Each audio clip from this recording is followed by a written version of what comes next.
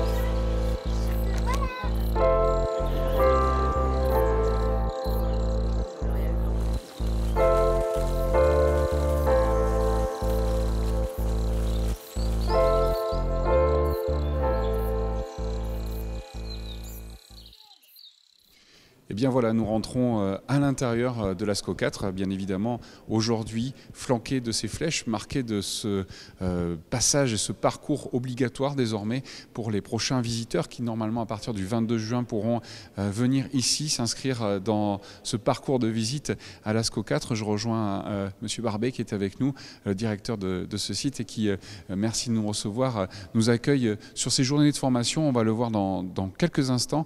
le personnel est bien mis au goût du jour euh, par rapport à ce qui se fait, les recommandations, et aujourd'hui comment euh, l'ASCO va se réveiller avec euh, de nouveau les visiteurs? Écoutez, tout d'abord, bienvenue à vous. la première chose, effectivement, c'est que le, personnel s'approprie toutes ces mesures barrières. Et l'idée aujourd'hui, c'est de commencer à les former avant que nous commencions à avoir l'exploitation du site. Donc l'idée aujourd'hui, c'est de leur montrer euh, le nouveau parcours de visite, puisque le numérique va être mis un petit peu en sommeil durant ces, premiers mois. Et puis leur montrer que c'est une visite qui est presque une visite VIP. C'est la visite qu'on faisait nous le, soir quand on voulait être tranquille et montrer la grotte sous d'autres aspects, montrer l'atelier sous d'autres aspects. Et donc ça va être une visite qui va ressembler à une visite beaucoup plus humaine que ce qu'on faisait aujourd'hui, où l'humain va être mis en tout cas euh, à l'excellence. Alors avant de voir effectivement plus en détail comment euh, l'ASCO euh, va se redécouvrir au, public et notamment aussi les autres sites hein, de, de, que, vous gérez, euh, non pas seulement sur la vallée de la Vézère, on va tout de suite aller suivre d'abord en salle et puis après sur le parcours les, les, personnels avec la formation de, de votre responsable de site. Sur les groupes qui vont être réduits en taille, il y aura quand même une distanciation à respecter. Ça veut dire que les gens puissent entendre, donc il y aura quand. Concernant le fond, vous allez voir qu'on s'est appuyé pour beaucoup sur d'abord ce que vous faites déjà. Donc vous allez voir, il n'y a pas en soi de surprise. Tous les éléments qu'on va aborder, vous les maîtrisez parfaitement. Et on a ajouté à ce parcours trois espaces, mais qui correspondent chacun, vous vous souvenez, aux ateliers pour lesquels on a tous travaillé, euh, eh bien ma foi, juste avant la période de confinement c'est-à-dire le panneau des inventeurs, c'est-à-dire l'architecture et la galerie de l'imaginaire.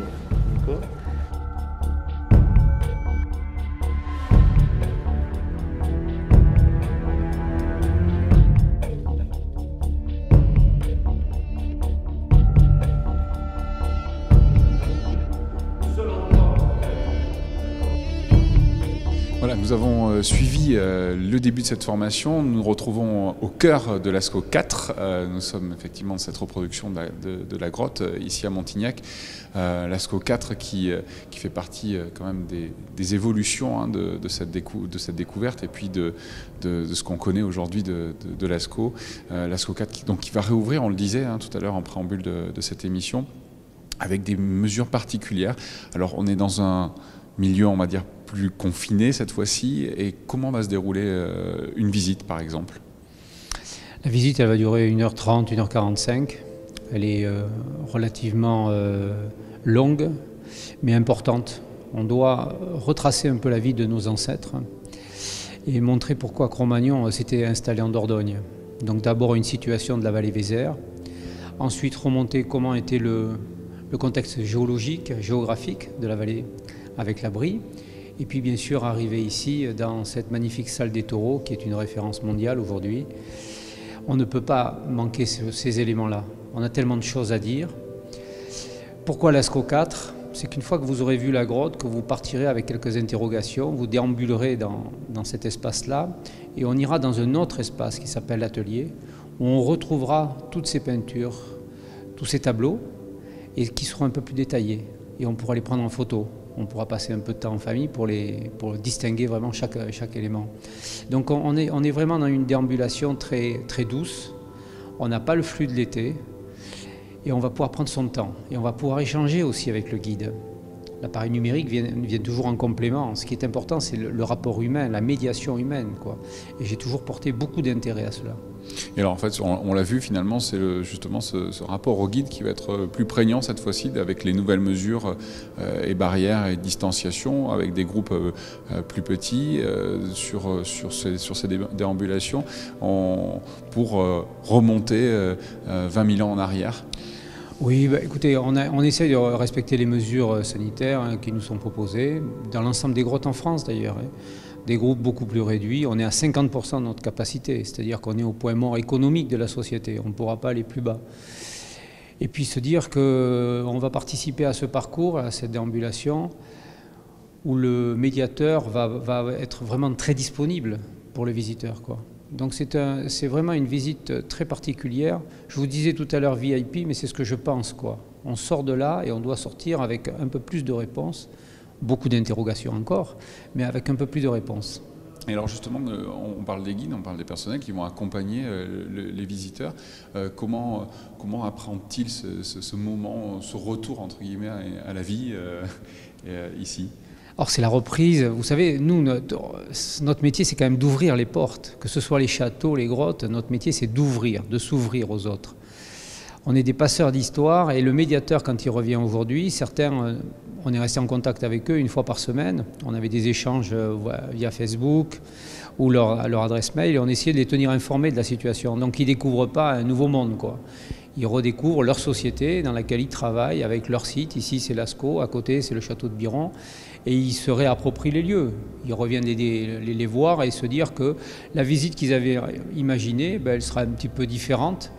Mais ils s'aperçoivent aussi, aussi, quand même que le travail de distanciation, de réflexion qui a été mené par la, par la direction euh, est une réflexion qui doit les préserver eux aussi. On n'a pas pensé qu'aux visiteurs, on pense aussi au personnel. Ils doivent venir dans les mêmes conditions de travail qui venaient avant, mais avec un masque, avec du gel, avec une clé euh, qui leur permettent euh, de se différencier euh, des visiteurs. Alors, ce sont combien de personnes qui travaillent ici au quotidien avant, maintenant et après Écoutez, c'est la question la plus délicate parce qu'on a 60 salariés à l'année ici sur l'ASCO 4. On aura très très peu de saisonniers cette année, puisqu'on divise par deux le nombre de visiteurs c'est effectivement le, nombre de saisonniers qui va, qui va souffrir de, cette euh, crise sanitaire. On sera toujours 60 à la fin de la saison, on sera toujours euh, dans ce même nombre et il y aura quelques saisonniers, on devrait avoir entre 0 et 10 saisonniers suivant le déconfinement qu'on va nous proposer sur le mois de juin, sur le mois de juillet.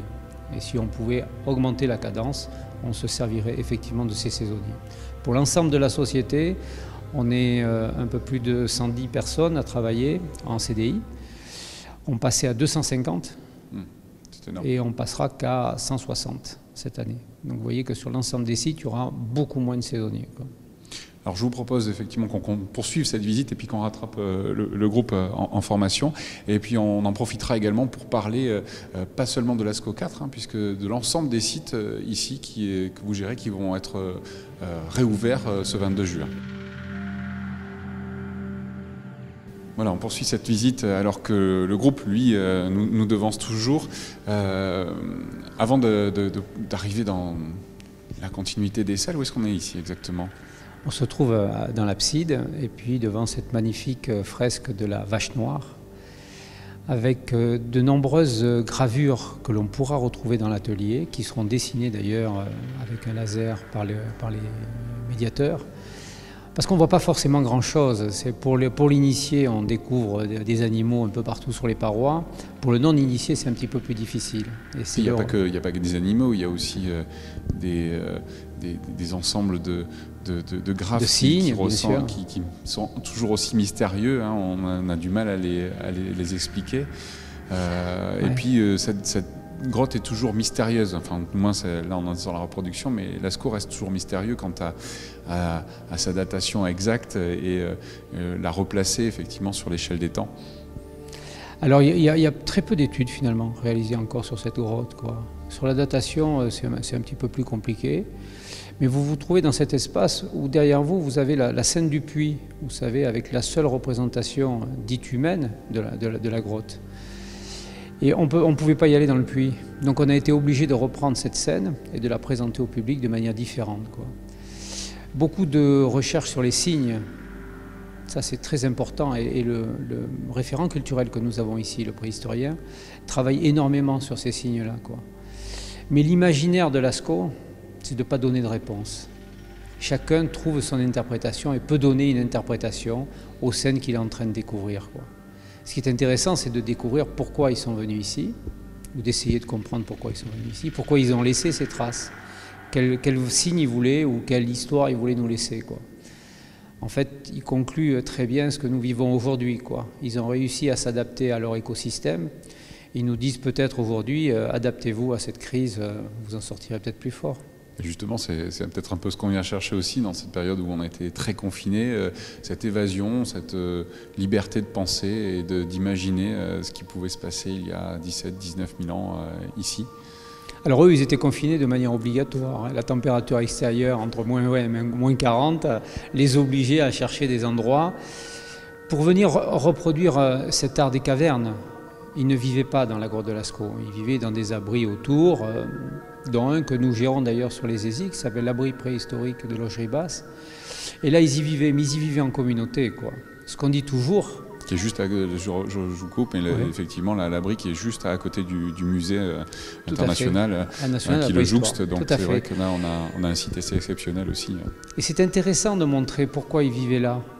Ici, ils venaient reproduire peut-être un art sacré, c'était peut-être leur église à eux, leur mosquée, enfin bon, un lieu sacré. Et puis, ils vivent aux, Zézi, et, là, euh, cette vie en communauté, et j'insiste beaucoup sur ça, c'est cette notion de groupe. Quoi. On dit toujours que Cro-Magnon s'en est sorti par rapport à Nantertal, peut-être peut parce qu'il avait cette notion de groupe, de partage de vie. Quoi. Que ce soit à la fois sur la nourriture, mais sur les objets mobiliers du quotidien, quoi. les outils pour la chasse, les parures aussi pour les dames. Enfin bon, il y avait quelque chose, il y avait une recherche constante sur l'art. quoi. Et cet art, cet art-là, cet art préhistorique, aujourd'hui, il a traversé les siècles, quoi. Pas grand-chose n'a été inventé de plus. Un collier reste un collier, quoi. Et vous voyez, ces colliers-là, ils ont 20 000 ans. Alors, on, le dit, hein, on est sur, euh, sur l'ASCO 4. Comment a évolué euh, l'ASCO de l'ASCO 2, l'ASCO 3, l'ASCO 4 on a, on a, plusieurs sites. L'ASCO 2, euh, on en parlait avant de, s'arrêter, c'est qu'il continue à fasciner une espèce d'initiation avant de venir trouver des réponses peut-être un peu plus précises à, son imagination, ou du moins ce qu'on qu'on essaye de s'imaginer de la vie des, des hommes préhistoriques de Cro-Magnon à l'époque. L'ASCO 2, c'est le premier facsimilé au monde. C'était un, pari énorme, quoi. Se dire que est-ce qu'une copie aurait autant de succès que l'original qui est à 100 mètres. C'était un pari formidable qui a, été réalisé par le département et par l'État à l'époque. On l'a laissé ouvert. On l'a laissé ouvert parce que c'est un monument pour nous.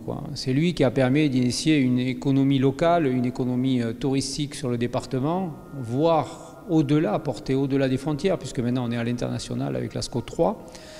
Mais l'ASCO 2 est resté ouvert et accueille, euh, allez, on va dire, entre 60 et 70 000 visiteurs qui viennent s'initier, qui viennent découvrir l'art des, euh, cavernes, qui viennent chercher quelques éléments. Et puis certains font même la visite avec l'ASCO 4. Et puis là, ils ont un complément magnifique, donc ils comprennent un peu mieux la préhistoire. L'idée de Lascaux 3, c'était de dire, ben, vous connaissez, vous lisez dans tous les livres d'histoire euh, Lascaux, l'histoire de cette célèbre grotte, euh, dite chapelle de la, Sixtine de la, préhistoire. C'était quand même, euh, utiliser ce terme-là, c'était fort. Et puis se dire que, ben, allons la montrer dans le monde. Quoi. On en est à 15 destinations aujourd'hui dans le monde. On est à Naples, on est au musée national, au musée d'archéologie nationale de Naples malheureusement a fermé quelques mois, mais qui a réouvert euh, jusqu'au 2 juillet et qui va ouvrir des salles de préhistoire. Et pour eux, ouvrir, parler de préhistoire, il fallait parler de Lascaux. Donc Lascaux 3 est à, est à Naples aujourd'hui. On devrait remonter peut-être dans le nord de l'Italie ou partir en Belgique. On va stationner, on va chercher à faire un développement plutôt sur l'Europe, puisque les longs courriers, ça va prendre un peu de temps. Il aurait, se réinstaller dans les musées nationaux euh, à l'étranger.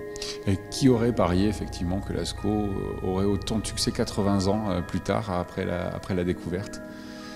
Mais je crois qu'il y, y, a y beaucoup de symboles, et puis il y a toujours cette surprise, cette découverte de cet art-là. Quoi. Vous savez, on, a, on a vu une émission il n'y a pas très très longtemps qui, qui disait de Cro-Magnon à Soulage. Quoi. Cet art-là a traversé les siècles les plus grands artistes contemporains aujourd'hui parlent de Lascaux. Il y a toujours une référence à Lascaux. C'est une inspiration. C'est à la fois une inspiration et dire ils avaient tout, tout fait quoi. Ils ont trouvé toutes les formes de peinture, toutes les formes de gravure possibles. Et nous aujourd'hui disent euh, les plus grands, Picasso, Soulage, euh, Tapiès, Miro, il y a toujours cette référence à Lascaux. C'est ça qui est formidable. Il y a une notion de on traverse les années, on traverse les dizaines de milliers d'années, et puis il y a cet art-là qui existe toujours. Je ne sais pas ce qui restera de notre art à nous, mais euh, c'est assez fabuleux d'imaginer que bon, mais 20 000 ans après, on en parle avec autant de plaisir.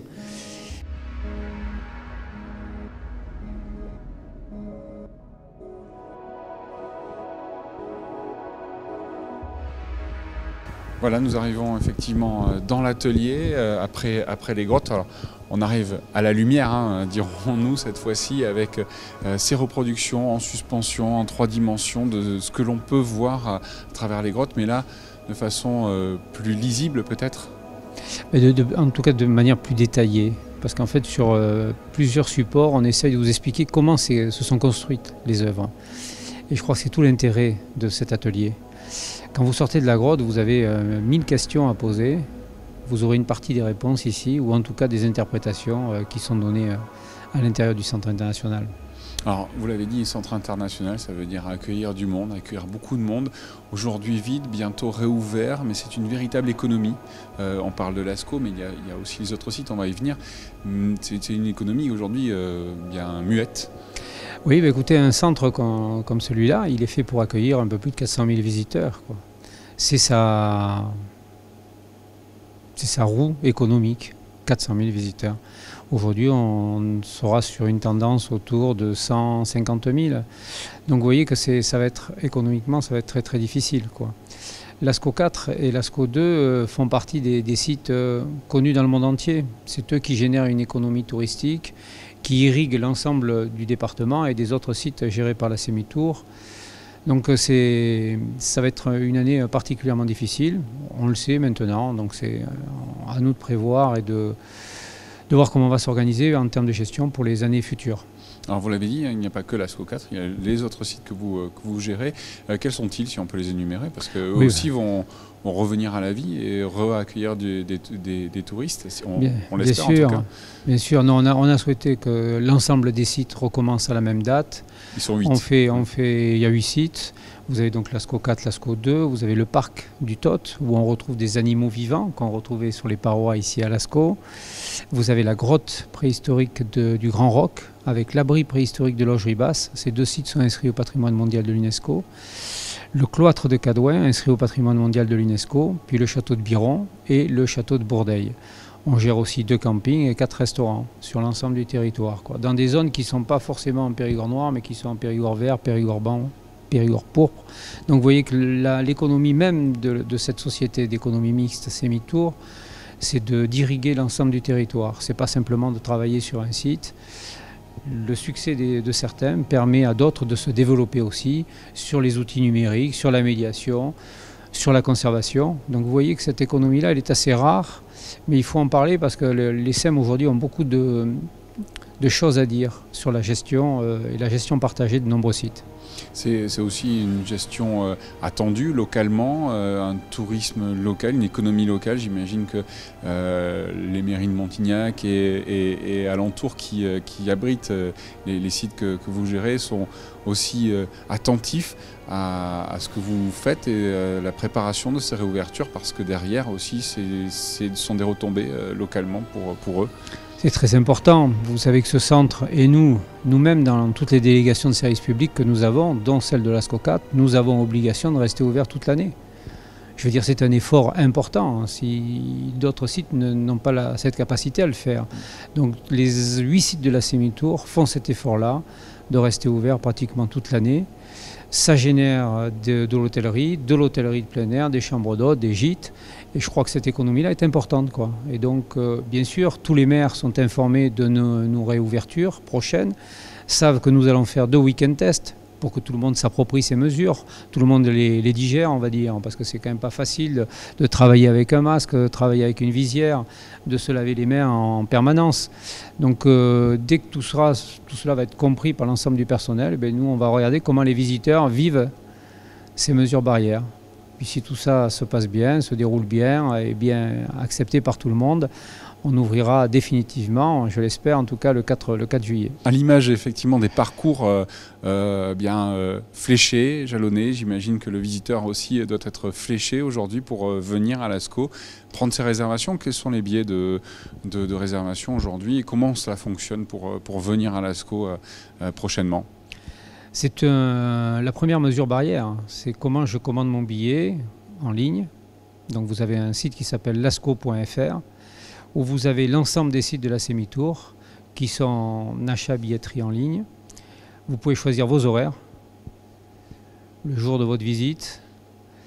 On vous demande de mettre, et on vous prévient, dès le départ, venez avec un masque. Ce sera quand même plus facile dans la distanciation physique et dans la relation avec les autres aussi. Quoi.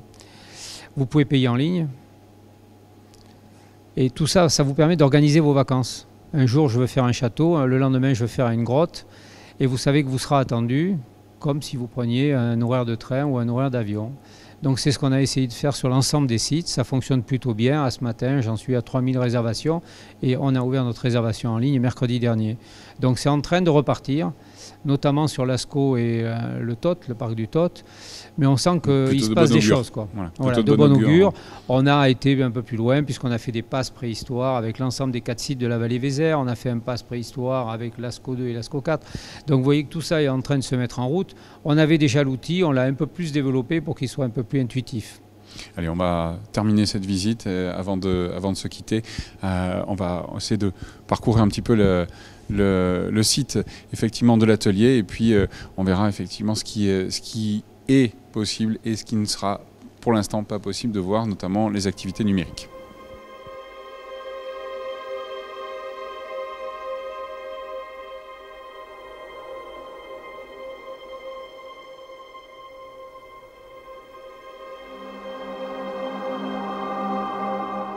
Ce point de vue Nouvelle-Aquitaine, ici en Dordogne, dans la vallée de la Vézère, s'achève euh, avec vous, André Barbet. Alors on a derrière nous quand même une image assez symbolique, euh, celle des quatre découvreurs de, cette grotte, dont c'est l'année. Hein oui, c'est l'anniversaire, c'est les 80 ans de la découverte.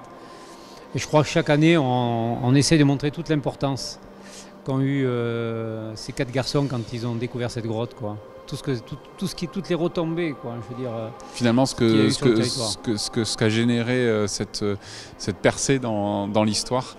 Oui, je crois qu'on peut le dire comme ça. Aujourd'hui, ça reste la référence mondiale. Quoi.